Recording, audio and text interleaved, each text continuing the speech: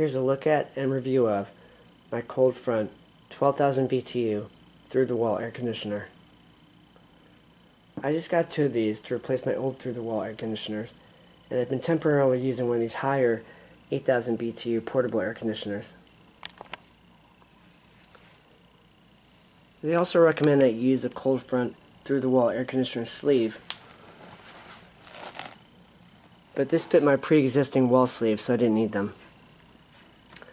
I'm going to actually have my handyman build a professional looking frame kit around this, but they do have some do-it-yourself frame kits you can put on. To turn it on, you hit this button here. And you can adjust the temperature here, as well as the different modes here.